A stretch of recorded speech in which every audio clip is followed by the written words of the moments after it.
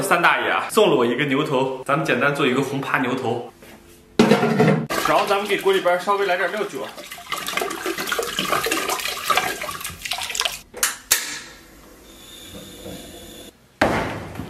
然后就常规操作，准备点葱姜，然后把葱给切成这种小段儿。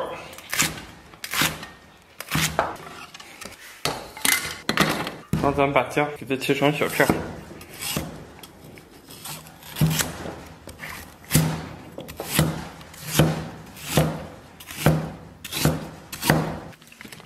有点香料，八角、桂皮、香叶、白芷、山奈，还有点碧波、黄曲米。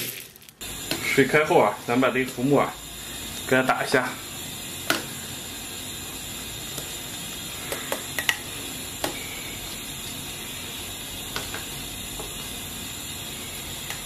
咱把切好的葱姜给它下到锅中，准备好的香辛料加红曲米，给它下到锅中，来点生抽。来点老抽，然后稍微来点盐，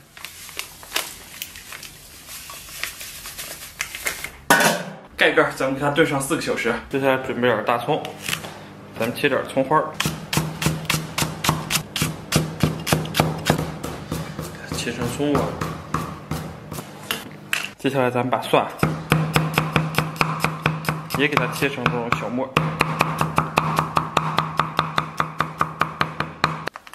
来点粗辣椒面，细辣椒面，然后给上边泼点热油，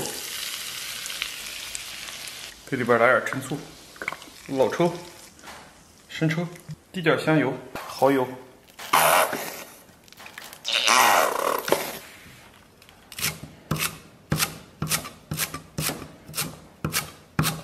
接下来咱们切点这个香菜。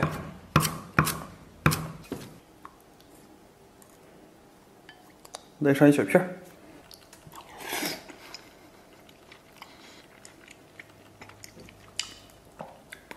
咱们这次啊，给它来一个大的，这个胶原蛋白啊，超级超级丰富啊！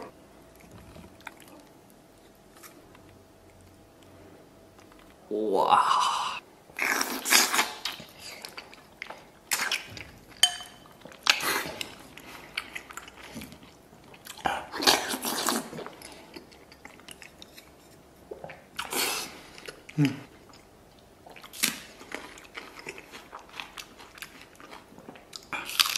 咱们今天来一口小葱啊，这个秘制小蘸料啊，太上头了。